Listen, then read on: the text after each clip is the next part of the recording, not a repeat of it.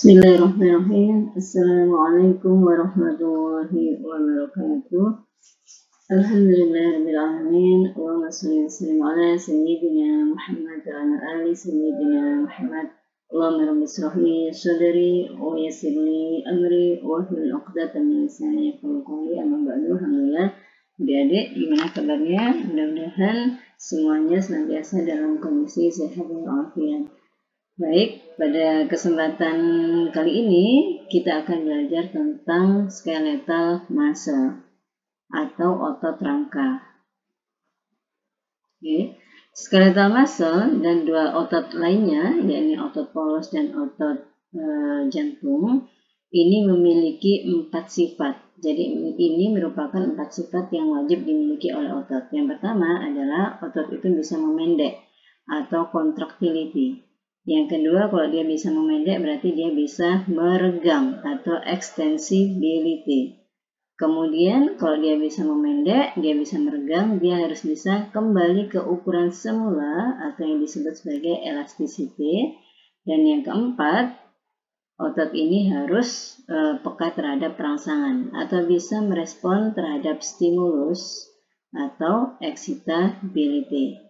Jadi itu otot bisa memendek, kemudian bisa merenggang, harus bisa kembali ke ukuran semula, dan harus bisa merespon terhadap rangsangan atau peka terhadap rangsangan. Ya, masih ingat ada berapa e, macam sel excitable dalam tubuh kita? Ada dua. Yang pertama adalah sel saraf dan yang kedua adalah sel otot. Oke. Berikut ini adalah tiga tipe otot yang terdapat di dalam tubuh kita. Yang pertama adalah skeletal muscle yang tengah, kemudian yang kedua adalah smooth muscle, dan yang ketiga adalah cardiac muscle. Cardiac muscle ini merupakan gabungan antara skeletal muscle dan smooth muscle, di mana secara struktur cardiac muscle ini e, mirip dengan skeletal muscle. Tetapi e, antar sel otot Cardiac muscle ini dihubungkan oleh gap junction seperti halnya pada smooth muscle. Sementara pada otot skeletal tidak. Otot e, sel otot skeletal ini dia e, berkontraksi sendiri-sendiri berdasarkan adanya rangsangan. Dia voluntary control. Jadi otot skeletal dia berkontraksi kalau ada rangsangan. Sedangkan smooth muscle dan cardiac muscle ini involuntary control. Jadi bisa berkontraksi meskipun tidak ada rangsangan. Ya. Oke, baik. Nah, pada slide ini kita akan fokus belajar tentang skeletal muscle. Skeletal muscle ini fungsinya apa? Yang pertama, ini adalah untuk pergerakan. Mengapa? Karena skeletal muscle bisa berkontraksi dan berrelaksasi. Yang kedua adalah untuk mensupport tubuh atau mendukung tubuh. Mengapa?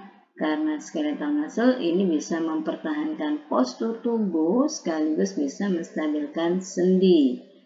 Dan fungsi yang ketiga adalah skeletal muscle ini bisa melindungi organ-organ internal.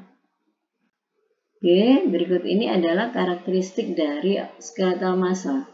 Skeletal muscle sudah sedikit kita bahas tadi, dia merupakan voluntary muscle. Mengapa? Karena dia baru bisa berkontraksi kalau ada rangsangan dari saraf. Yang kedua disebut juga sebagai motorik muscle. Mengapa? Karena skeletal muscle sebagian besar ditemukan pada otot-otot ekstremitas, pada organ ekstremitas. Kemudian yang ketiga disebut juga sebagai striated muscle karena uh, otot skeletal ini disusun oleh filamen aktin dan miosin, di mana filamen aktin dan miosin ini masing-masing memberikan gambaran terang dan gelap sehingga tampak seperti garis-garis atau kalau dalam bahasa Indonesia kita terjemahkan sebagai otot lurik. Ya. Berikutnya otot e, skeletal ini namanya otot skeletal karena itu dia melekat pada skeleton atau tulang atau rangka tubuh melalui tendon.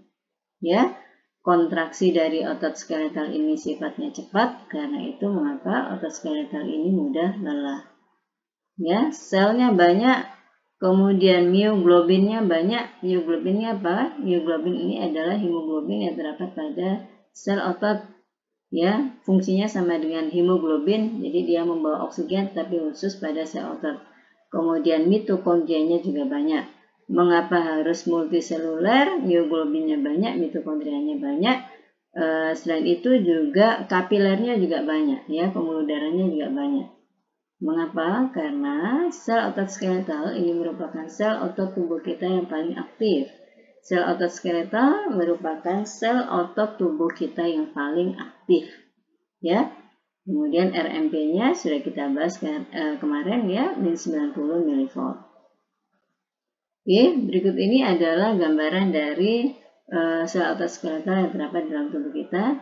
Ini dikatakan mengapa uh, disebut juga sebagai motorik muscle karena sel otot skeletal sebagian besar terdapat pada organ ekstremitas yang utama, tangan, kemudian kaki, selain itu terdapat pada organ ekstremitas yang lain ya, seperti punggung, kemudian leher, kemudian dada, kemudian bahu, dan yang lainnya. Silakan Anda belajar di anatomi tentang otot-otot skeletal yang terdapat dalam tubuh kita. Yang perlu dicatat yang berhubungan dengan bidang kita adalah ini otot-otot mastikasi, otot pembuka, penutup mulut, yakni otot temporalis dan otot masseter. Ya. Oke. Ini e, merupakan gambaran histologi dari skeletal muscle. Tadi disebutkan mengapa skeletal muscle disebut juga sebagai striated muscle atau otot lurik gitu ya, karena ada gambaran gelap dan terang dari e, filamen yang menyusun skeletal muscle ya. Gambaran kursor saya ini menunjuk gambaran gelap ya. Kursor saya ini menunjuk gambaran gelap. Ya, kalau yang ini adalah gambaran terang. Kenapa dia gelap? Karena dia tidak bisa menyerap cahaya. Karena itu disebut sebagai anisotrope band atau E-band. Sementara yang terang ini bisa menyerap cahaya, uh, disebut juga sebagai isotrope band atau E-band. Ya, ini gambaran uh, karena itu tampak seperti uh, gambar lurik ya, garis-garis ya karena itu disebut muscle karena ada gambaran gelap terang dari filamen gambaran gelapnya dari filamen miosin ya ini filamen miosin gambaran terangnya adalah dari filamen aktin. Oke ini gambaran dari sel otot skeletal yang melekat pada rangka atau tulang melalui tendon di skeletalnya ya ini pasi atau pembungkusnya Kemudian ini lapisan-lapisan yang membungkus sel otot skeletal mulai dari epimisium, perimisium, indomisium. Kemudian kalau dibuka, ini di dalam otot skeletal itu terdapat sel saraf eh, aksonya. Sel saraf inilah yang memberikan rangsangan pada sel otot skeletal sehingga sel otot skeletal bisa berkontraksi. Karena itu sel otot skeletal tadi sudah kita sebutkan dia bersifat sebagai voluntary muscle dia hanya bisa berkontraksi kalau ada rangsangan. Ya. Oke. Nah, berikut ini adalah struktur dari sel otot skeletal. Yang pertama, sel otot skeletal itu berbentuk silindris. Nah, ada garis-garis ya, terang dan gelap. Kalau terang disusun oleh filamen aktin, kalau gelap disusun oleh filamen miosin. Kemudian sarkolema ini merupakan membran sel yang terdapat pada sel otot skeletal di mana pada sarkolema ada diperhatikan bisa ditemukan channel natrium dan kalium, kemudian juga bisa ditemukan reseptor asetilkolin. Pada sarkolema bisa ditemukan channel natrium dan kalium, kemudian bisa juga ditemukan reseptor asetilkolin. Kemudian setelah sarkolema e, turun ke bawah, ini ada struktur yang kita sebut sebagai T-tubul. T-tubul ini berfungsi untuk transmisi impuls. Oke, kemudian ada sarkoplasma. Sarkoplasma ini sama dengan sitoplasma, yakni cairan yang terdapat di dalam sel khusus pada sel otot. Oke, kemudian sarkoplasmik retikulum. Sarkoplasmik retikulum ini pada sarkoplasmik retikulum eh, ini terdapat sisterna. Sisterna ini merupakan depo-depo kalsium ya. Sisterna ini merupakan depo-depo kalsium. Ya, kalsium intrasel yang terdapat dalam sisterna ini dibutuhkan nanti pada proses kontraksi otot. Kemudian pada sisterna ini terdapat channel-channel kalsium tempat lewatnya kalsium keluar apabila ada potensial aksi. Channel kalsium ini disebut sebagai ryanodin reseptor. Kemudian pada sel otot skeletal juga ditemukan adanya triad structure atau struktur tiga. Kenapa disebut struktur tiga? Karena terdiri dari T-tubul yang diambil oleh si uh, sarcoplasmic reticulum, sarcoplasmic reticulum. Triad structure ini nantinya juga berperan pada proses kontraksi otot. Oke, mari kita berpindah. Nah, ini gambaran dari struktur otot skeletal. Ini membran sel otot skeletal yang kita sebut sebagai sarkolema. Ini nukleusnya hanya nampak satu, tapi sebenarnya banyak ya. Sel otot skeletal merupakan sel yang memiliki banyak nukleus. Oke, kemudian nih banyak mitokondria. Kenapa banyak mitokondria? Karena dia merupakan sel tubuh kita yang paling aktif. Ya, Nah, kemudian ini kalau misalnya di, diuraikan ya, dibuka, ini gambaran dari T-tubul yang kita sebutkan tadi. Triad structure, T-tubul ini fungsinya untuk apa? Untuk transmisi impuls. Kemudian ada triad structure, terdiri dari T-tubul, ini yang saya tunjuk ungu, dan samping-sampingnya adalah sarcoplasmic reticulum. Yang biru ini sarcoplasmic reticulum, yang biru ini sarcoplasmic reticulum yang saya tunjuk, yang tengah-tengah ini adalah T-tubul. Ya. Oke. Nah, berikutnya masih pada struktur sel otot skeletal. Sel otot skeletal disebut juga sebagai myofibril. Sel otot skeletal disebut juga sebagai myofibril. Myofibril kenapa disebut myofibril? Karena tersusun atas dua miofibril yang utama, ya filamen utama, yakni aktin dan miosin. Aktin ini jumlahnya dua kali filamen miosin. Oke, kemudian filamen aktin sendiri ini disusun oleh protein aktin, troponin, dan tropomiosin. Filamen aktin disusun oleh protein aktin, troponin, dan tropomiosin di mana protein troponin ini terdiri dari tiga bagian. Yang pertama adalah troponin I, yang kedua troponin C, yang ketiga troponin T. Troponin I dia akan berikatan dengan protein aktin, troponin T dia akan berikatan dengan tropomyosin, dan troponin C dia akan berikatan dengan ion kalsium yang keluar dari sisterna. Oke. Kemudian troponin I yang berikatan dengan aktin dan troponin T yang berikatan dengan tropomyosin ini adalah pada saat otot tidak berkontraksi. Jadi pada saat resting, troponin I berikatan dengan aktin, troponin T berikatan dengan tropomyosin. Tetapi pada saat kontraksi, troponin C berikatan dengan kalsium. Troponin I tentunya terlepas dari aktin, troponin T tentunya terlepas dari tropomyosin. Oke, ini sudah kita bahas tadi ya. Kemudian antara filamen aktin yang satu dengan yang lain ini dihubungkan oleh sebuah garis yang disebut sebagai Z-dis ya antara filamen aktin dan filamen aktin yang lain dihubungkan oleh uh, sebuah garis yang disebut sebagai Z-dis. Nah, Miofibril yang terletak di antara dua Z-dis ini kita sebut sebagai sarkomer. Miofibril yang terletak di antara dua Z-dis ini kita sebut sebagai sarkomer. Nantinya pada saat terjadinya kontraksi otot, sarkomer inilah yang memendek. Bukan filamen aktin, bukan filamen miosin. Filamen aktin dan filamen miosin ukurannya tetap, hanya berpindah tempat sarkomer inilah yang nantinya memendek pada saat kontraksi otot.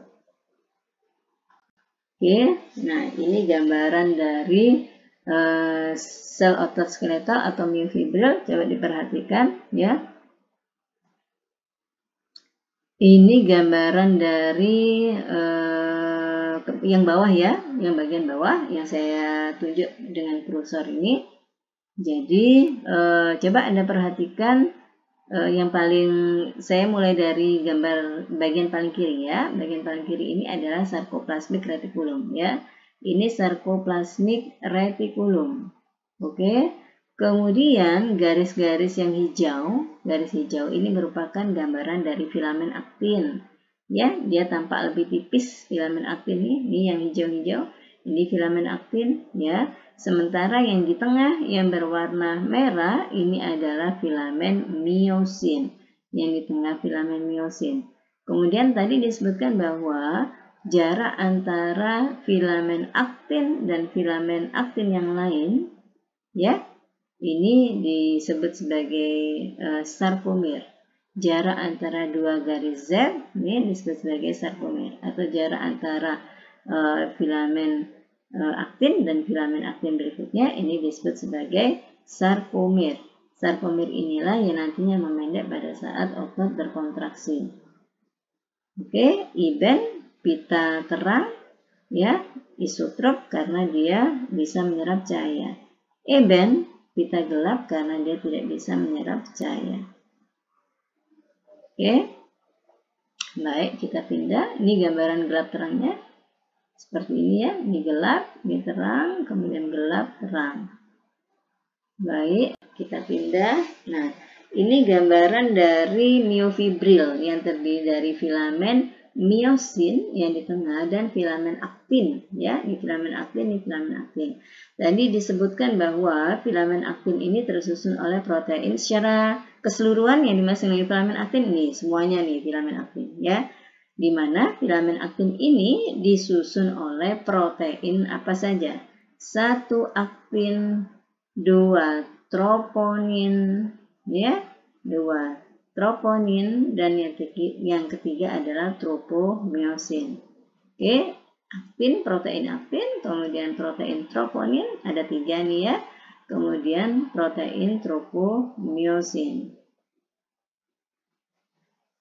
Oke, ini gambaran dari head myosin ya, yang nantinya akan ini gambaran dari head myosin yang pada saat proses kontraksi dia melekat pada active site aktin untuk bisa menggeser filamen aktin.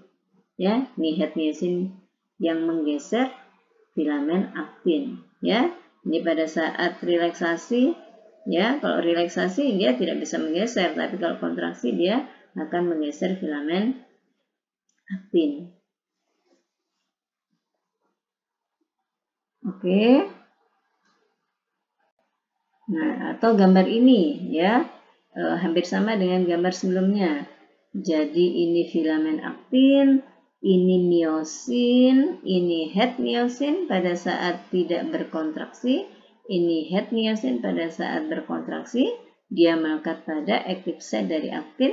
Kalau sudah melekat, dia baru bisa menggeser filamen aktin sehingga terjadi proses pergeseran filamen atau kontraksi otot ya. Coba ini troponin ada tiga bagian ya troponin T. Ini troponin T dia berikatan dengan tropomyosin. Ini tropomyosin ya. Ini troponin T-nya. Kemudian ini troponin C dia berikatan dengan kalsium dan troponin I dia berikatan dengan aktin, protein aktin. Oke. Baik. Nah, kita pindah. Nah, ini gambaran e, troponin I, troponin T, dan troponin C pada saat e, relaksasi dan kontraksi. Ya, low calcium ini artinya pada saat proses relaksasi. Sedangkan high calcium ini maksudnya dalam keadaan kontraksi. Ya, coba diamati pada saat relaksasi Troponin I dia berikatan dengan filamen aktin. Troponin T dia berikatan dengan tropomyosin. Ya, troponin T yang merah dia berikatan dengan tropomyosin. Nih, nih. Kemudian troponin I dia berikatan dengan aktin. Troponin I berikatan dengan aktin, ya. Oke, troponin C-nya dia tidak berikatan dengan siapa-siapa karena ini masih proses uh, relaksasi di mana kadar kalsium di dalam sel itu rendah. Nah, begitu ada rangsangan yang mencapai threshold sehingga dia bisa menyebabkan terjadinya aksi potensial, maka troponin C, eh, maka kalsium akan keluar dari sisterna. sehingga kalsium ini akan diikat oleh troponin C. Ya, troponin C pada saat kadar kalsium dalam sel otot ini meningkat, maka troponin C akan e, mengikat kalsium. Kalsium akan diikat oleh troponin C. Pada saat kalsium diikat oleh troponin C, maka posisi dari tropomyosin ini akan berubah. Ya, posisi dari tropomyosin yang awalnya seperti ini akan berubah ke atas sehingga memungkinkan sehingga memungkinkan aktif uh, head myosin akan berikatan dengan active site dari aktin. Ya, sehingga memungkinkan head myosin mengikat site dari aktin. Ya, kalau ini gambarannya kurang jelas ya, yang mana head myosin. Mungkin ini lebih mewakili ini head myosin ya, yang berikatan dengan aktin ya pada saat kontraksi. Kalau ini pada saat relaksasi dia tidak berikatan dengan aktin. Oke. Oke, baik. Uh, otot skeletal ini secara umum tadi disebutkan dia merupakan otot uh, voluntary karena itu dia bis, baru bisa berkontraksi pada saat ada rangsangan dari saraf ya. Pada dasarnya ada dua saraf jenis saraf yang mensuplai atau menginervasi dari sel otot skeletal. Yang pertama adalah saraf sensoris dan yang kedua adalah saraf motoris. Apa beda keduanya?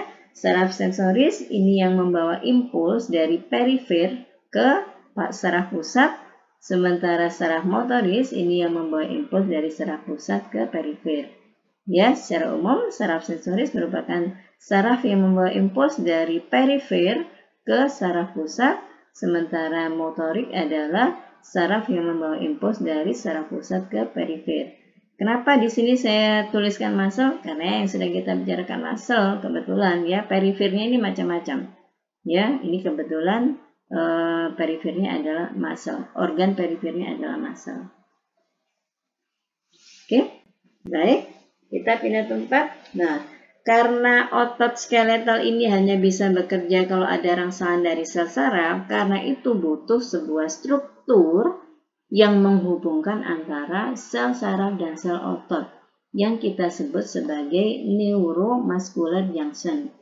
Saya ulang ya, karena sel otot skeletal ini hanya bisa bekerja atau berkontraksi kalau ada rangsangan dari sel saraf, karena itu dibutuhkan struktur khusus yang menghubungkan antara sel saraf dan sel otot. Struktur ini yang disebut sebagai neuromuscular junction hubungan antara saraf dan otot. Di mana letaknya neuromuscular junction? Nih, terletak di antara sel saraf dan sel otot. Neuromuscular junctionnya adalah yang ini. Ya, ini membran sel saraf yang kita sebut sebagai sarkolema. Ya, masih ingat? Di sarkolema ini banyak ditemukan adanya eh, pintu-pintu natrium dan kalium Selain itu juga bisa ditemukan adanya reseptor asetilkolin ya.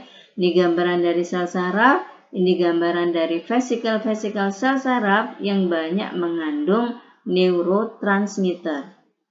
Neurotransmitter itu apa? Bahan yang dikeluarkan oleh sel saraf. Itu disebut neurotransmitter. Oke. Nah, neurotransmitter yang berhubungan dengan kontraksi otot skeletal ini disebut sebagai asetilkolin.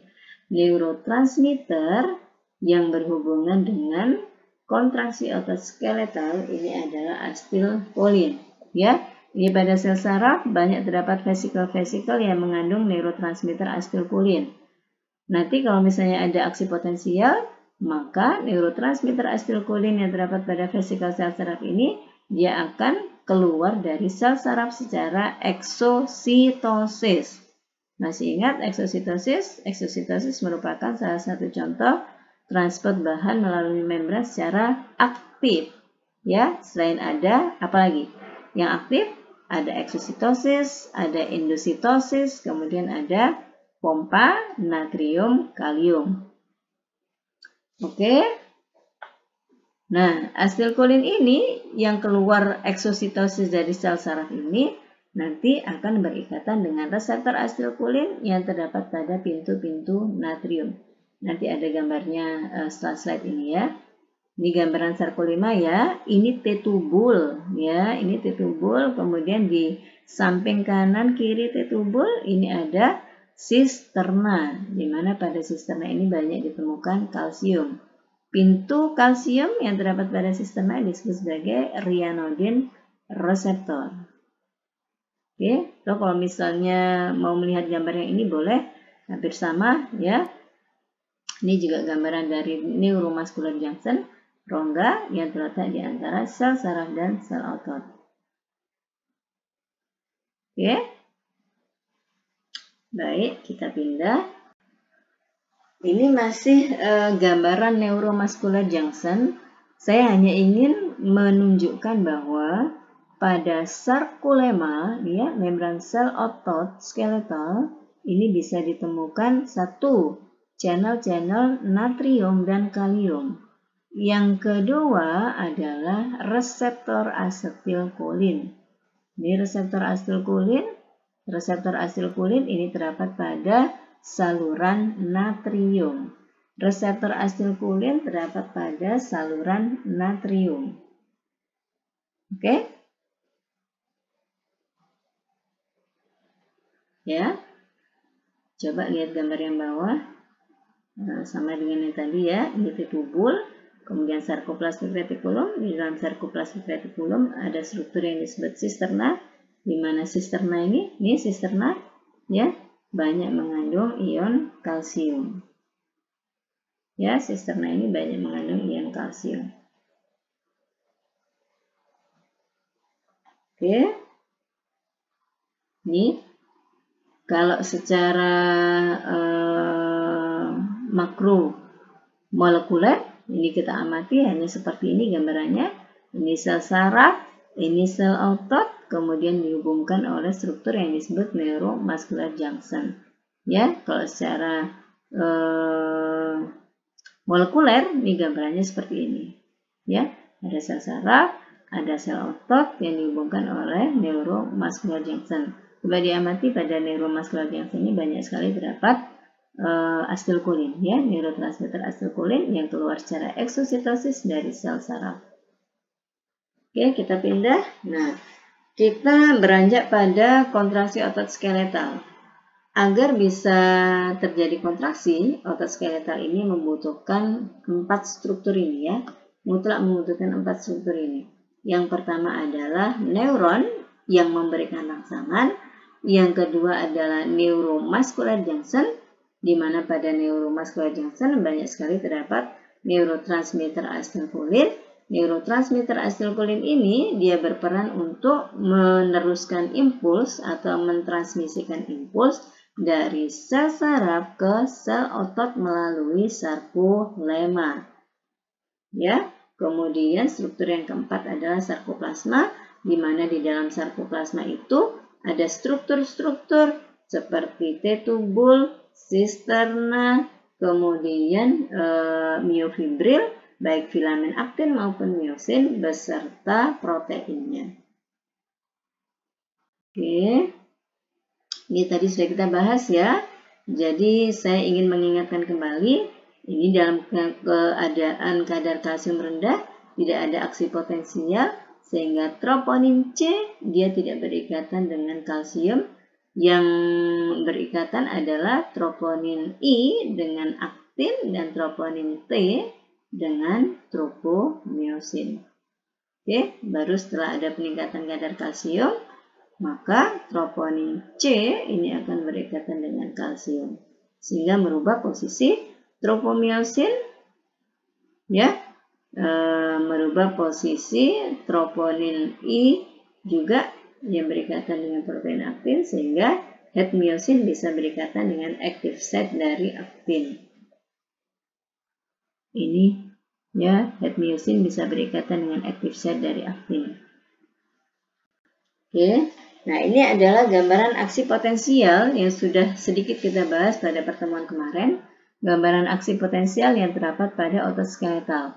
Gambaran aksi potensial seperti ini disebut sebagai spike potensial, ya. Gambaran aksi potensial seperti ini disebut sebagai spike potensial. Berbeda dengan aksi potensial yang terdapat pada sel otot polos, nanti kalau kita belajar, Selain spike potensial, ada potensial plateau dan ada potensial uh, slow wave.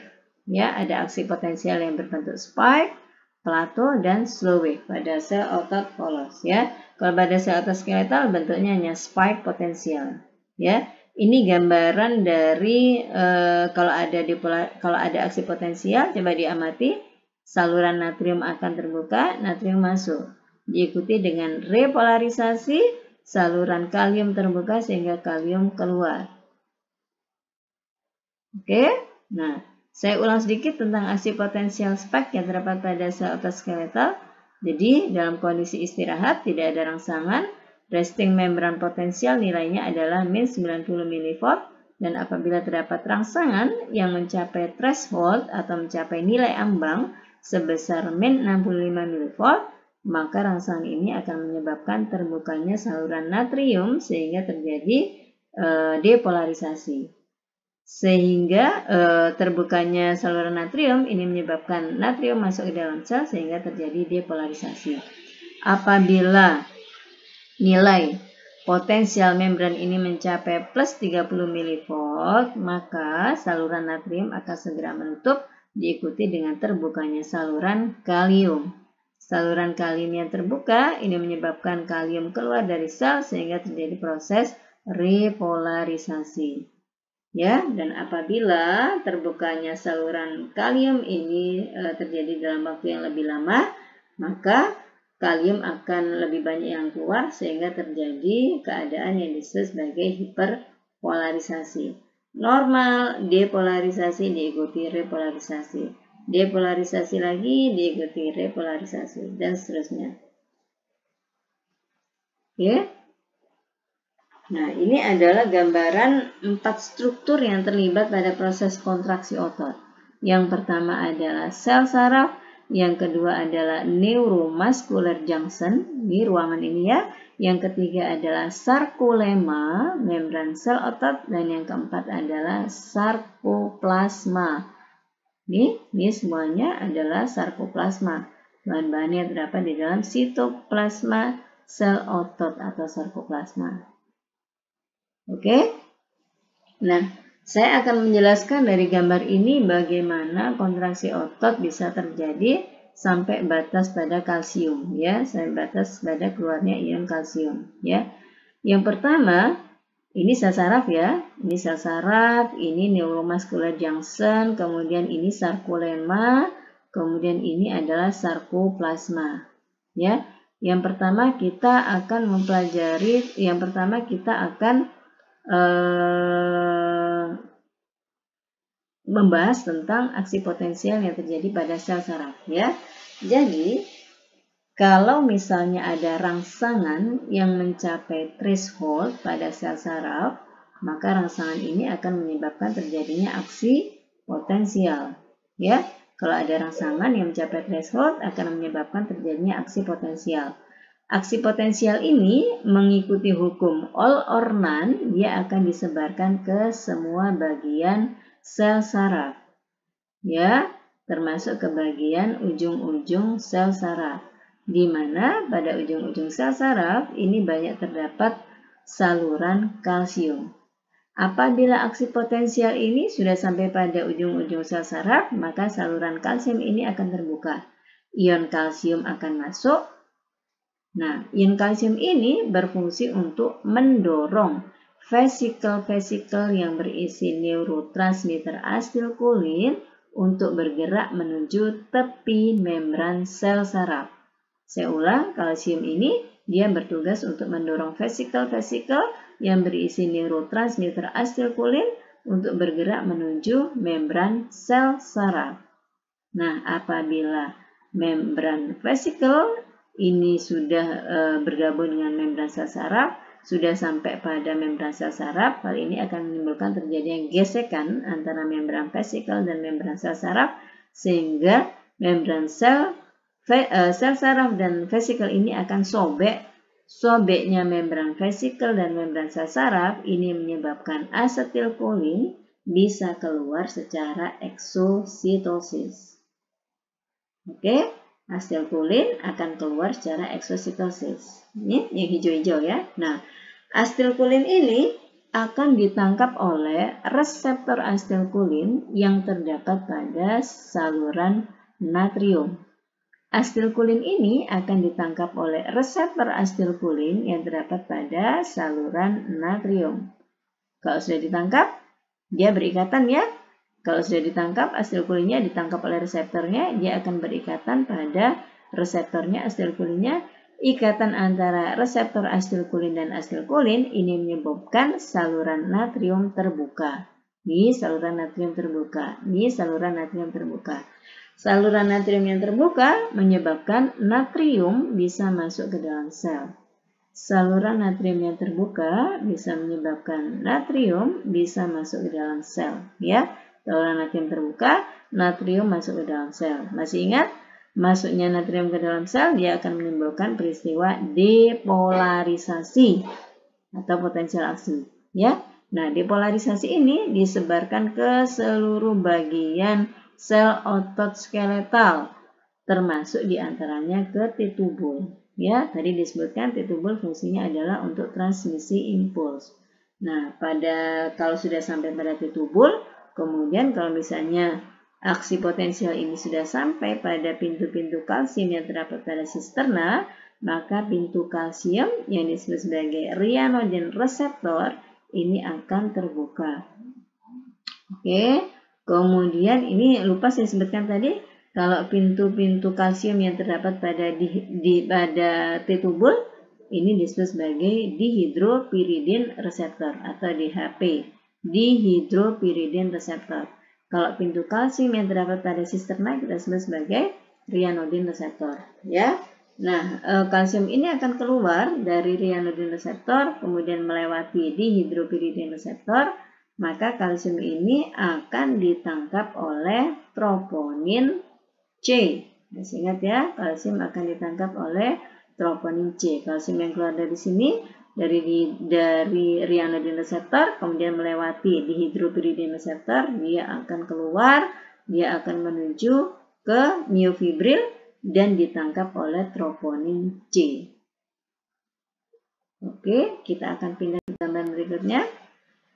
Nah, tropon e, kalsium yang sudah berikatan dengan troponin C ini tadi e, sudah disebutkan dia akan menyebabkan perubahan posisi dari troponin T yang, yang berikatan dengan tropomyosin juga mengubah posisi dari troponin I yang berikatan dengan aktin.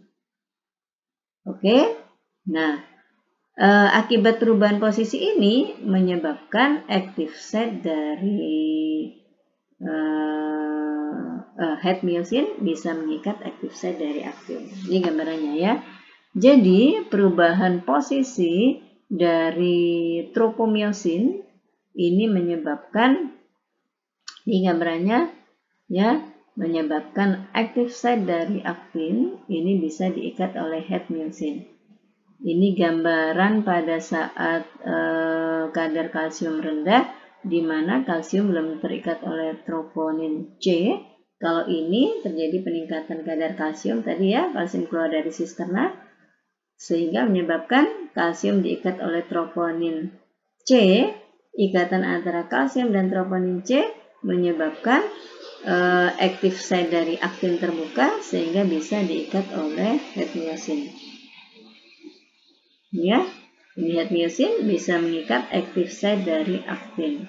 Nah, peristiwa inilah, nah kalau sudah bisa mengikat, head myosin bisa mengikat uh, active site dari aktin, maka head myosin ini akan menggerakkan filamen aktin. Oke, menggerakkan filamen aktin. Kan sudah berikatan, baru bisa menggerakkan filamen aktin.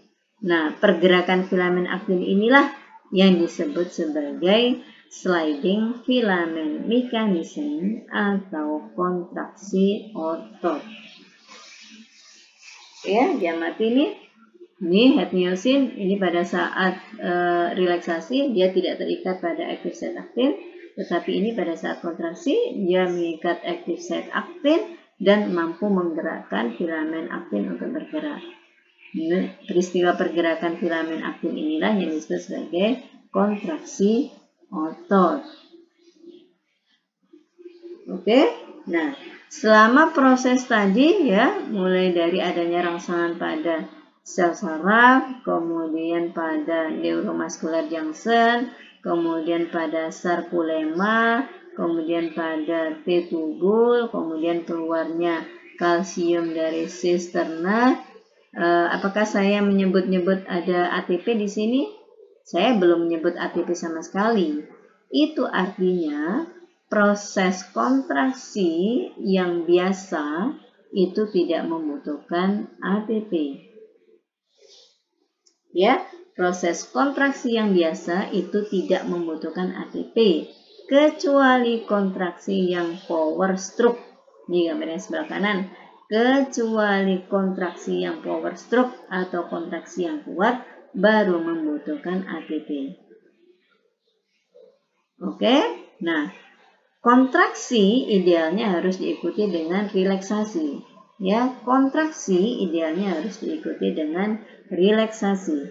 Ini gambaran kontraksi, ya idealnya harus diikuti dengan proses relaksasi kembali. Ya, head myosin terlepas dari aktin kembali. Ya, kontraksi tidak boleh terus-terusan. Kenapa? Nanti otot bisa mengalami kram atau spasme. Ya, nah untuk bisa mengalami proses relaksasi dibutuhkanlah ATP. Kalau tadi kontraksi yang biasa tidak membutuhkan ATP kecuali power stroke ini membutuhkan ATP. Power stroke itu apa? Power stroke itu kontraksi yang kuat, itu baru membutuhkan ATP. Kalau kontraksi biasa tidak membutuhkan ATP. Oke, kontraksi harus diikuti dengan relaksasi. Untuk proses relaksasi itu membutuhkan ATP.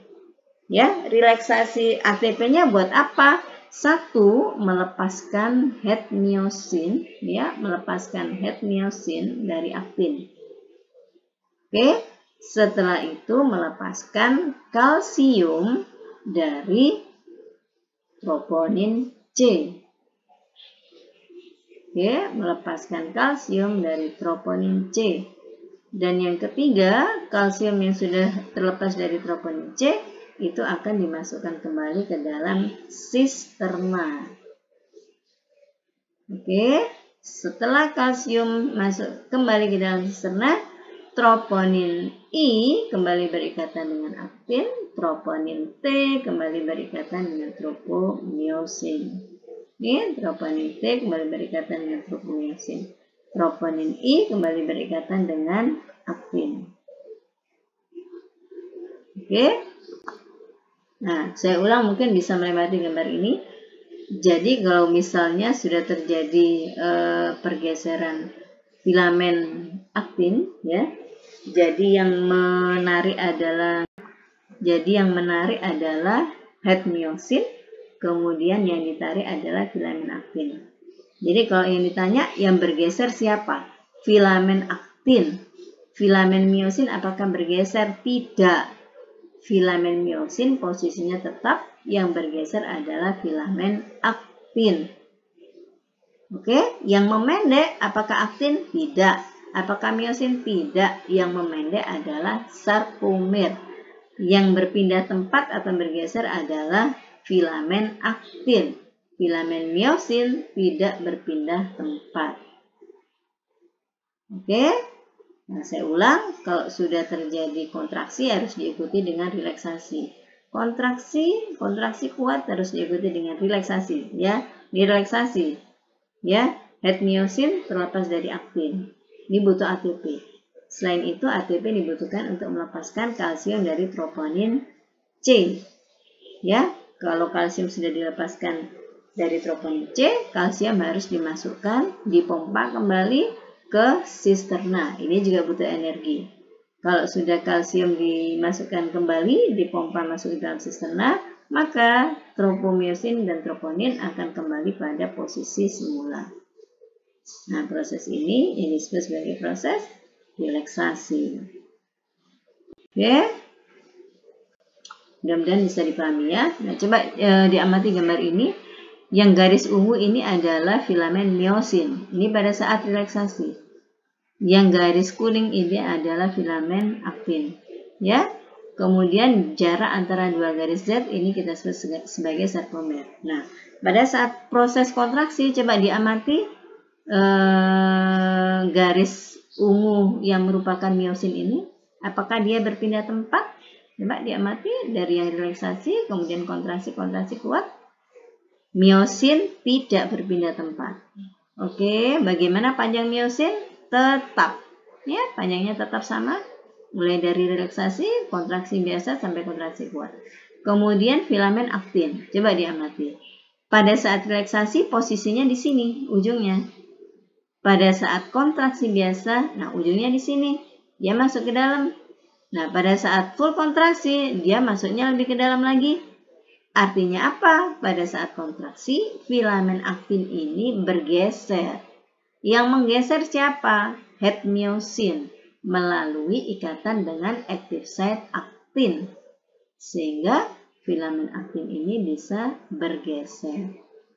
Ya, karena itu kenapa peristiwa kontraksi otot itu disebut sebagai sliding filament mechanism mekanisme pergeseran filamen yang bergeser aktin, yang menggeser miosin, yang memendek sarkomir. Oke? Nah, normal kontraksi harus diikuti dengan relaksasi, ya. Kalau sudah kontraksi harus relaksasi, ya. Nah, eh, ini beberapa kondisi yang berhubungan dengan sel otot skeletal. Yang pertama adalah hiperplasi dan hipertrofi. Hiperplasi hipertrofi ini merupakan e, pembesaran organ atau jaringan.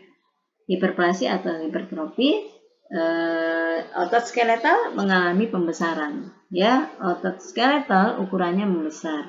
Mengapa membesar? Bisa melalui dua proses. Yang pertama hiperplasi, yang kedua hipertrofi. Apa bedanya? Kalau hiperplasi, otot membesar karena jumlah sel bertambah banyak. Kalau hiperplasi, otot membesar karena jumlah sel bertambah banyak. Kalau hipertrofi, otot membesar karena ukuran sel yang bertambah besar.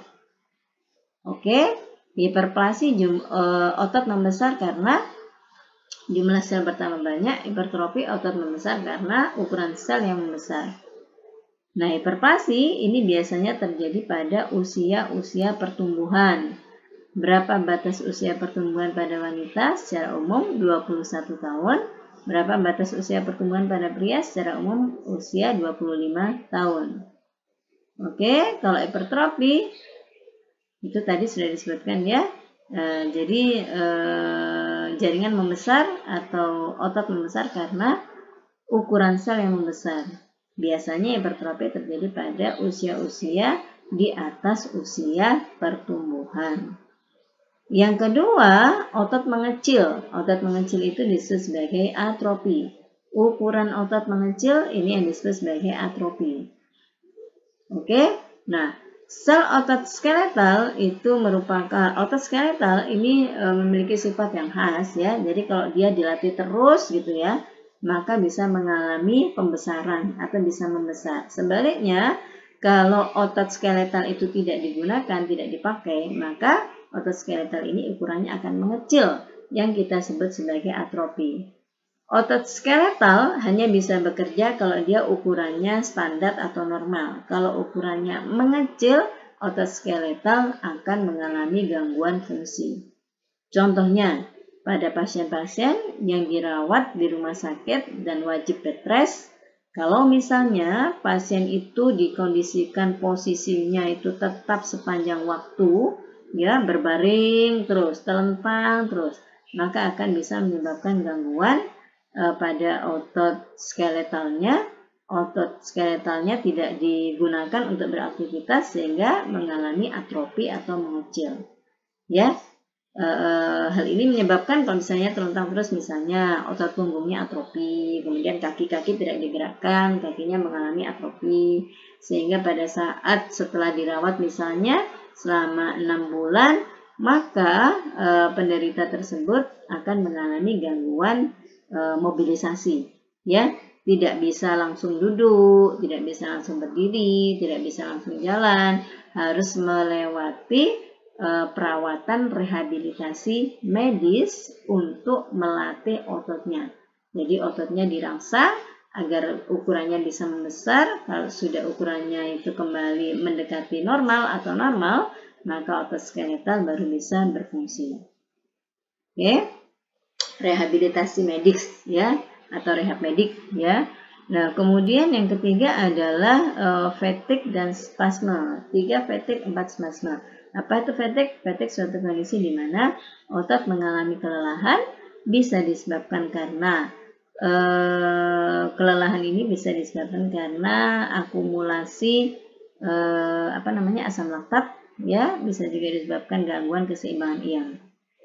Ini gambarannya ya, ini tabel beda antara fatigue dan spasma. Kalau fatigue itu otot tidak bisa berkontraksi ya, di mana e, tegangan otot itu menurun Otot tidak bisa berkontraksi karena ada gangguan pembentukan ATP. Selain itu juga disebabkan karena akumulasi asam laktat dan gangguan keseimbangan ion. Otot tidak bisa berkontraksi karena e, tegangan otot menurun. Mengapa tegangan otot menurun? Karena adanya gangguan pembentukan ATP dan akumulasi asam laktat yang berlebihan dan gangguan keseimbangan ion. Kemudian kalau spasme ini merupakan e, e, kontraksi secara tidak sadar yang terjadi secara mendadak. Ya, spasme ini sebenarnya ada dua bentuk. Yang pertama klonik, yang kedua tonik. Klonik ini adalah spasme dengan relaksasi. Jadi relaksasi terus gitu ya. Kemudian yang kedua tonik kontraksi terus gitu ya. Nah, kemudian ada istilah tetanus atau tetani. Tetani ini adalah kontraksi terus tidak diikuti relaksasi ya. Tetani terus tidak diikuti relaksasi. Oke. Nah, kalau misalnya tetani terus tidak diikuti relaksasi, ini biasanya diikuti dengan konvulsi atau kejang otot. Ya. Konvulsi atau kejang otot ya. Tetani terus ini diikuti dengan konvulsi atau kejang otot. Oke, baik. Nah, eh, sekarang kita pindah ke rigor mortis ya, rigor mortis dulu. Rigor mortis ini apa? Kaku otot pada mayat, jangan dibalik kaku mayat pada otot ya. Rigor mortis adalah kaku otot pada mayat. Ya. Nah, rigor mortis ini terjadi tiga, mulai 3 jam setelah kematian. Ya. Jadi sedikit kita review ruh itu pada orang yang mau meninggal ya, ruh itu diangkat dari bawah ke atas ya, dari kaki, kemudian ke paha, ke perut, sampai dengan keluar dari mulut ya. Nah, kemudian setelah itu e, beberapa jam dimulai dari tiga jam pertama, maka otot-otot akan mulai mengalami kekakuan. Otot mana yang mengalami kekakuan dimulai dari otot bagian atas, otot wajah, kemudian otot leher, otot dada, dan seterusnya ke arah bawah. Ini terjadi mulai 3 jam pertama. Nah, kaku otot ini akan bertahan selama 24 sampai 48 jam. Ya, jadi setelah 24 sampai 48 jam kemudian otot ini akan kembali lemas. Ya, otot lemas ini dimulai dari bawah kemudian ke atas. Ya. Nah, e, kaku otot artinya apa? Otot itu berkontraksi terus, tidak berelaksasi. Mengapa otot tidak berelaksasi? Tadi disebutkan bahwa untuk relaksasi butuh ATP. Padahal pada sel yang sudah mati tidak bisa lagi terjadi metabolisme sel sehingga tidak bisa menghasilkan ATP. Akibatnya, otot tidak bisa mengalami relaksasi. Ototnya menjadi kontraksi terus atau kaku. Nah, setelah 24 sampai 48 jam kemudian, otot akan kembali lemas kan? Kenapa otot bisa lemas? Bukan karena ditambahkan ATP, bukan karena injeksi ATP, bukan karena diberi obat apa pun.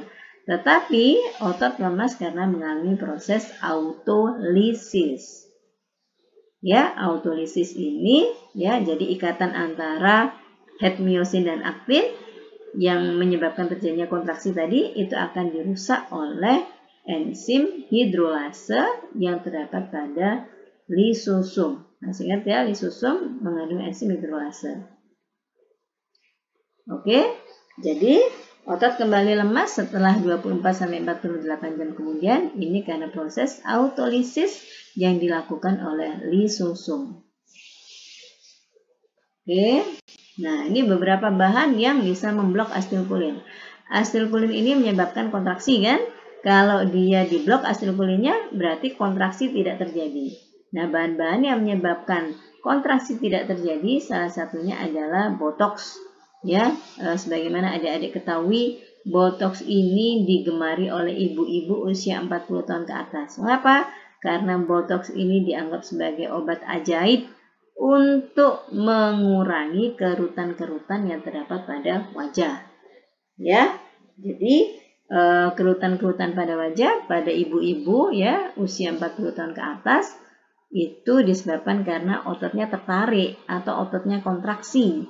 Biar ototnya lemas kembali, maka diinjeksi dengan botox. Ya, ini botox ini merupakan toksin dari botulinum, ya bakteri botulinum. Oke, nah botox ini e, selain mahal, ya, dia juga hanya bisa bertahan selama 3 sampai 6 bulan. Setelah e, efeknya hilang setelah efeknya habis gitu ya maka kerutan-kerutan akan kembali muncul pada wajah karena apa? Karena otot kembali kontraksi lagi. Gitu ya. Jadi sebaiknya kalau nanti adik-adik terutama yang wanita ya sudah berusia 40 tahun ke atas hindari penggunaan botox mahal hanya bertahan sebentar selain itu juga e, ditakutkan adanya reaksi rejeksi atau penolakan dari tubuh.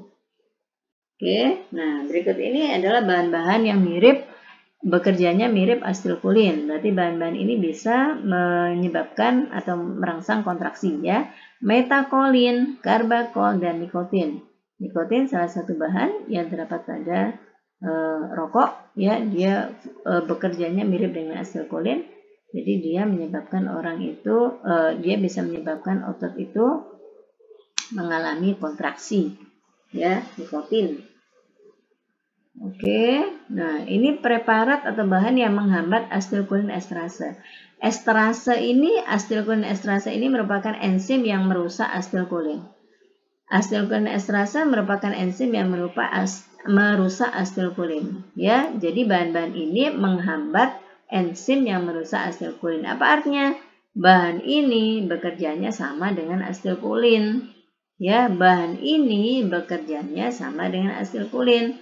Nah, kalau misalnya uh, dia bisa dia menyebabkan terjadinya spasme pada laring, ya laring masih ingat laring itu dia disusun oleh gabungan antara sel otot skeletal dan sel otot polos. Ya, laring itu disusun gabungan antara otot polos dan otot skeletal.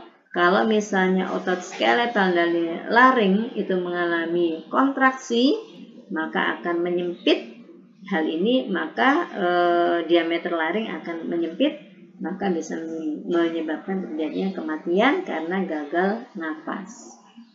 Ya. Oke. Berikutnya adalah miastenia gravis. Miastenia gravis ini merupakan autoimun disease. Apa artinya autoimun disease? Autoimun disease ini merupakan penyakit di mana sistem imun menyerang sel-sel tubuh sendiri. Autoimun disease merupakan suatu keadaan atau penyakit di mana sistem imun menyerang sel-sel tubuh itu sendiri, ya. Nah, uh, pada miastenia gravis ini ya terjadi paralisis atau kelumpuhan pada otot skeletal. Pada miastenia gravis ini terjadi kelumpuhan pada otot skeletal. Ya. Bahaya enggak? Berbahaya. Ya, berbahaya karena mengganggu mobilisasi Eh, karena bisa mengganggu mobilisasi ya kalau dia terjadi pada organ ekstremitas. Oke. Nah, miastenia gravis ini karena merupakan penyakit autoimun ya berbahaya ya. Karena itu hanya terjadi pada satu di antara 20.000 eh, person. Ya, karena itu penderitanya sedikit karena ini penyakit yang berbahaya. Ya. Nah, miastenia gravis ini eh, terjadi karena neuromuscular junction ya neuromuscular junction gagal mentransmisikan sinyal saraf ke otot. Mengapa kok neuromuscular junction gagal mentransmisikan sinyal saraf ke otot? Karena astilpulinnya ini, astilpulinnya ini dirusak oleh antibodi. Karena astilpulinnya ini dirusak oleh antibodi. Ya, astilpulin dirusak oleh antibodi. Astilpulin dirusak oleh antibodi, padahal astilpulin ini bertugas untuk meneruskan rangsangan dari saraf ke otot. Karena itu rangsangan tidak bisa diteruskan dari saraf ke otot. Akibatnya apa? Otot tidak bisa berkontraksi. Nah, kalau misalnya paralisisnya atau kelumpuhan ini terjadi pada otot-otot yang berperan pada proses respirasi, ini bisa menimbulkan kematian. Contohnya pada saat inspirasi ya. Inspirasi itu e, menghirup oksigen, pada saat itu otot-otot pernafasan, otot dada ini mengalami e, kontraksi. Nah, kalau misalnya e, terjadi miastenia gravis, maka otot-otot ini tidak bisa berkontraksi sehingga terjadi gangguan pada saat proses inspirasi sehingga penderita bisa kekurangan oksigen sehingga bisa menimbulkan kematian. Ya, miastenia gravis ini berbahayanya kalau misalnya dia terjadi pada uh, paralisisnya ini terjadi pada otot-otot respirasi. Ya, sehingga mengganggu proses inspirasi pasien kekurangan O2 sehingga bisa menimbulkan kematian. Oke, nah berikut ini materi tambahan ya, performa otot. Performa otot ini sangat ditentukan oleh dua tipe serabut saraf ya. E, sebenarnya ada tiga tipe ya. Tipe 1 slow twitch, tipe 2A fast twitch, dan tipe 2B very fast twitch. Ya, ada tiga. Tipe 1, tipe 2, dan tipe 3. Slow, fast, dan very fast. Oke. Nah, ini adalah gambaran dari slow twitch muscle ya. Slow twitch muscle ini sel-selnya berwarna merah. Mengapa dia berwarna merah? Karena dia banyak mengandung Hb. Dia berwarna merah karena dia banyak mengandung Hb. Kalau dia banyak mengandung Hb berarti dia banyak oksigen. Karena dia banyak oksigen, karena itu pada slow twitch muscle ini energi disediakan secara aerobik karena penyediaan secara aerobik berarti e, waktu yang dibutuhkan untuk penyediaannya lebih lama. E, kemudian kontraksinya bisa bertahan lebih lama. Ya, ini cocok biasanya banyak digunakan pada pelari-pelari maraton atau pelari jarak jauh. Ini banyak menggunakan otot yang slow twitch muscle. Sementara pada pelari jarak pendek, sprinter ini menggunakan fast twitch muscle ototnya sel ototnya berwarna pucat karena jarang e, mengandung Hb berarti oksigennya kurang karena itu penyediaan energinya adalah secara anaerob karena penyediaan anaerob biasanya dihasilkan asam laktat dan asam laktat ini salah satu bahan yang menimbulkan terjadinya kelelahan atau fatigue. Ya karena itu kenapa pada pelari jarak pendek ini lebih mudah mengalami fatigue dibandingkan dengan maraton karena akumulasi dari asam laktat Oke, berikutnya ini adalah uh, karakteristik atau sifat-sifat dari tiga tipe uh, muscle fiber ya. Ini yang slow twitch tipe 1, ini yang fast twitch tipe 2 2A, kemudian ini yang very fast twitch, ini yang tipe 2B. Ya, waktu kontraksinya kalau slow twitch namanya slow, lambat, tipe 2A cepat, tipe 2B sangat cepat. Kemudian ukuran motor neuronnya. Kalau slow twist tentunya kecil. Kemudian tipe 2A besar, tipe 2B sangat besar. Ya, ketahanan terhadap petik. Kalau slow twist lebih tahan terhadap petik, paling tahan terhadap petik ya. Kemudian 2A e, ini intermediate ketahanannya. Kemudian kalau 2B ini rendah yang paling eh, ini yang rendah ketahanan terhadap petiknya ya. Nah, E, penggunaannya ini untuk aktivitas aerobik yang slow twitch, kemudian yang tipe 2A untuk long term anaerobik, kemudian yang tipe 2B untuk anaerobik yang e, jarak pendek ya. Ini aerobik jarak panjang, ini anaerobik yang lama, ini anaerobik yang singkat ya. Kemudian produksi ATP-nya itu kalau slow twitch lambat, kalau fast twitch cepat. Kemudian kalau yang very fast ya sangat cepat ya. Kemudian jumlah mitokondrianya pada slow dan tipe 2A ini sama-sama tinggi, yang tipe 2B rendah. Kemudian jumlah kapilernya tentunya pada slow twitch ini yang paling tinggi yang tipe 2A intermediate, yang tipe 2B yang rendah. Kemudian warna dari muscle fibernya sweet twitch merah karena banyak mengandung HB. Ya, fast twitch yang 2A pink, sedang yang 2B adalah white, pucat. Oke, kemudian simpanan energinya slow twitch terutama trigliserida, kemudian fast twitch terutama uh, CP, kreatin fosfat dan glikogen. Kemudian yang tipe 2B sama kreatin fosfat dan glikogen. Oke, alhamdulillah saya rasa uh, materi untuk skeletal muscle cukup sampai di sini. Adik-adik pelajari dengan baik. Uh, apabila ada yang kurang dimengerti, bisa ditanyakan lewat WA atau lewat email. Mudah-mudahan manfaat apa yang kita bahas pada kesempatan kali ini. Saya mohon maaf kalau ada yang kurang berkenan. Ihdinas siratal mustaqim. Wassalamualaikum warahmatullahi wabarakatuh. Adik-adik tetap semangat belajar, tetap jaga kesehatan ya. Sampai jumpa di uh, PPT kita yang lain. Oke. Okay.